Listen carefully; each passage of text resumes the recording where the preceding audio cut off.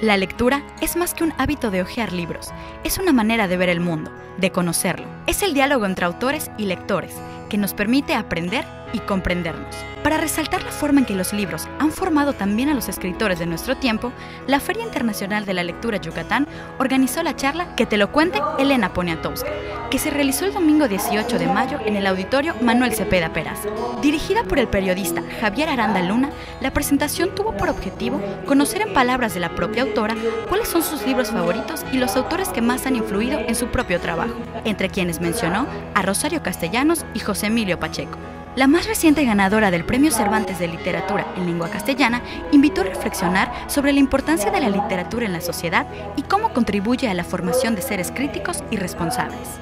Este, uno se abandona a sí mismo, es decir, uno no se da a sí mismo el mejor regalo que puede uno darse, que la lectura en la noche, la lectura en la mañana, la lectura en el avión cuando vas y vienes, bueno, si vas bien la lectura en el avión, la lectura